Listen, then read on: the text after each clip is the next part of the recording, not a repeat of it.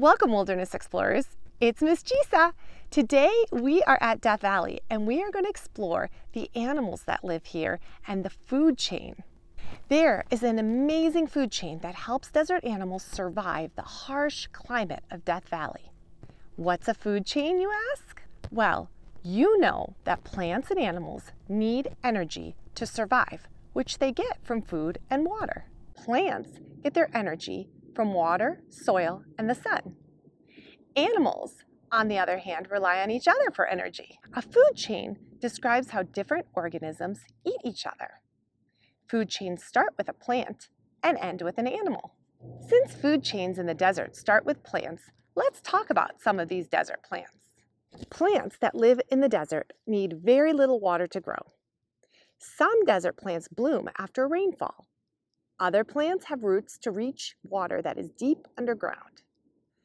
Cacti are very unique. They grow in deserts because they are able to store water in their stems for a long time. Instead of leaves, they have sharp spines sometimes. Cacti come in many shapes and may grow as tall as a tree.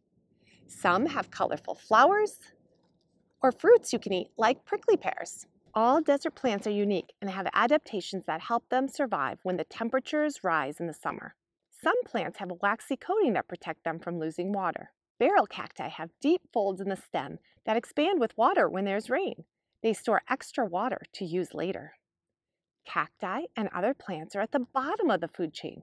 They make their food using sunlight. They do not eat any living things. Now, let's see how animals come into the food chain. Next in the desert food chain come the herbivores.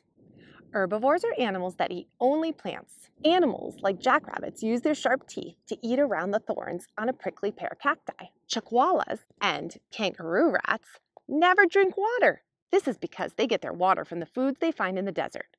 Chuckwallas get the water they need from the leaves of plants, and kangaroo rats get water from the seeds they eat.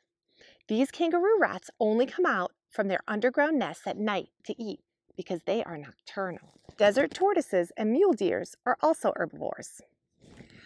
Rattlesnakes are also nocturnal, but they are carnivores, meat eaters, animals that eat other animals. The rattlesnake attacks the kangaroo rat, who might be hopping by. It swallows the rat whole and also gains nutrients from the seeds that the kangaroo rat ate. Sidewinder snakes don't drink water, but get moisture from the animals they eat. Many sidewinder snakes like to hunt small rodents at night on the Mesquite Flat sand dunes. A red-tailed hawk is also a carnivore and hunts snakes. Hawks, bobcats, and mountain lions are at the top of the food chain. Nothing eats these animals. They are called top carnivores. Omnivores, animals that eat plants and other animals, have lots of choices for food in the desert. Ravens and coyotes are omnivores. Coyotes are also considered decomposers. Decomposers eat the leftovers. Bacteria and worms are decomposers who feed on rotting plants and animal waste. Decomposers clean up the desert and put nutrients back into the soil. Another desert food chain begins with wildflowers. Big fat caterpillars that later develop into sphinx moths eat the wildflowers. Next, birds and small rodents eat these caterpillars and moths. Finally, snakes and foxes hunt the birds and rodents.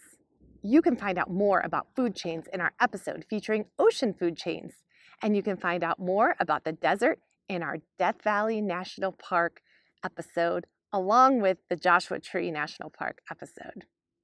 Enjoy learning about these great habitats and amazing animals. Thank you for joining me today. Remember to like and subscribe to support our channel.